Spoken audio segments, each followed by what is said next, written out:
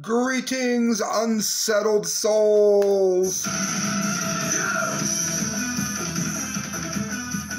Please do not tune out. You're looking at my screen because I am about to read Dr. Seuss.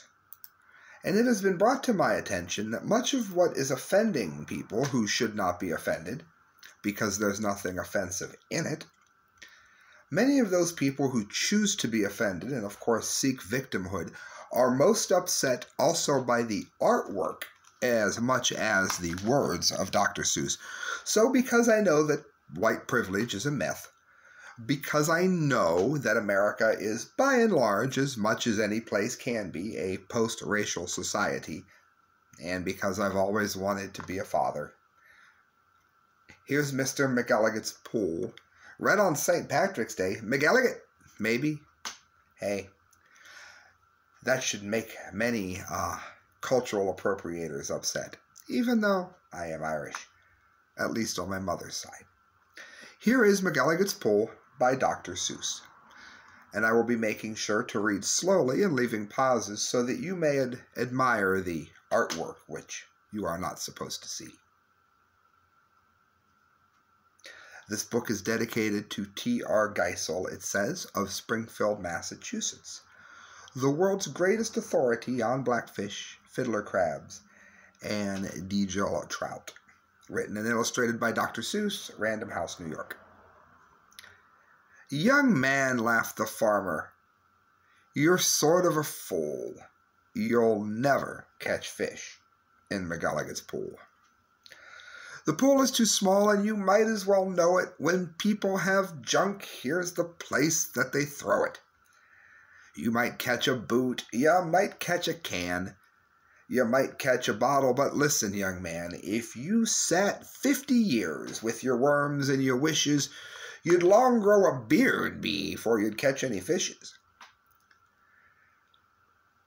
Cause we, cause you never can tell what goes on down below. This pool might be bigger than you or I know. Hmm, answered Marco. It may be, you're right. I've been here three hours without one single bite. There might not be fish. But then again, well, there might. This might be a pool like I've read of in books, connected to one of those underground brooks. An underground river that starts here and flows right under the pasture, and then, well, who knows? It might go along down where no one can see, right under State Highway 203, right under the wagons, right under the toes of Mr. Abruzzo who's hanging out clothes. It might keep on flowing, perhaps, who can tell? Right under the people in Sneeden's Hotel. Right under the grass where they're playing croquet, then under the mountains and far, far away.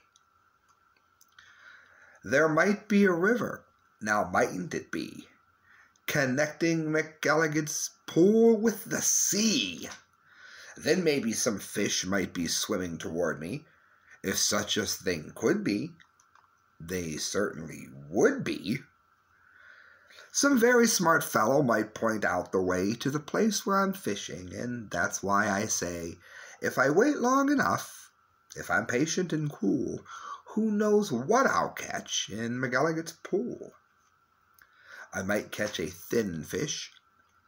I might catch a stout fish. I might catch a short or a long, long drawn out fish. Any kind, any shape, any color, any size, I might catch some fish that would open your eyes.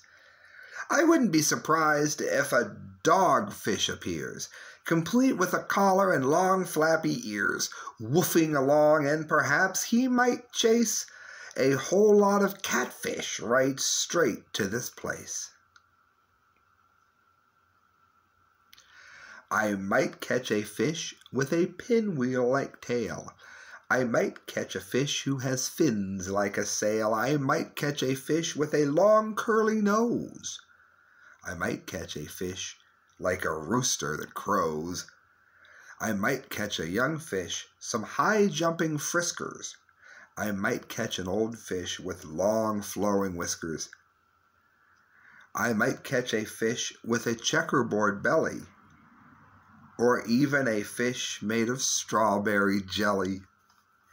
I might catch a seahorse. Now mightn't I now? I might catch a fish who is partly a cow. Some fish from the tropics, all sunburned and hot, might decide to swim up. Well, they might. Might they not? Racing up north for a dance to get cool. Full steam ahead for McElligot's pool. Some Eskimos fish from beyond Hudson Bay might decide to swim down, might be headed this way. It's a pretty long trip, but they might, and they may. I might catch an eel. Well, I might, it depends. A long twisting eel. With a lot of strange bends, and oddly enough, with a head on both ends. One doesn't catch this kind of fish as a rule, but the chances are fine in McElligot's pool. I might catch a fish with a terrible grouch. Or an Australian fish with a kangaroo's pouch. Who wants to catch small ones like mackerel and trout? Say, I'll catch a sawfish with a long snout that he needs an assistant to help him out. With such a long snout, pardon me. If I wait long enough, if I'm patient and cool, who knows what I'll catch at McElligot's pool. Some roughneck old lobster, all gristle and muscle, might grab at my bait. Then would I have to hustle. To land one so tough might take two or three hours, but the next might be easy the kind that likes flowers. I might catch some sort of fast moving bloke who zipped through the waves with a one arm stroke. I might, and I may, and that's really no joke. A fish even faster, a fish, if you please, who slides down the slides of strange islands on skis. Some circus fish, fish from an acrobat school, might stage a big show in McElligot's pool.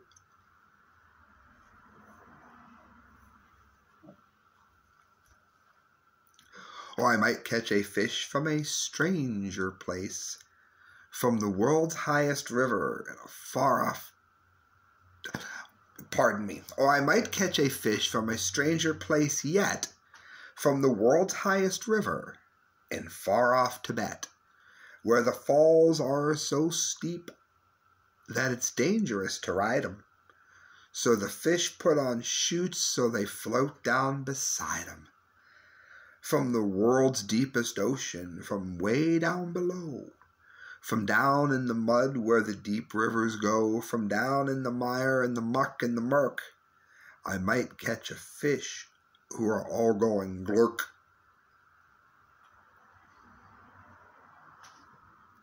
Whales! I'll catch whales!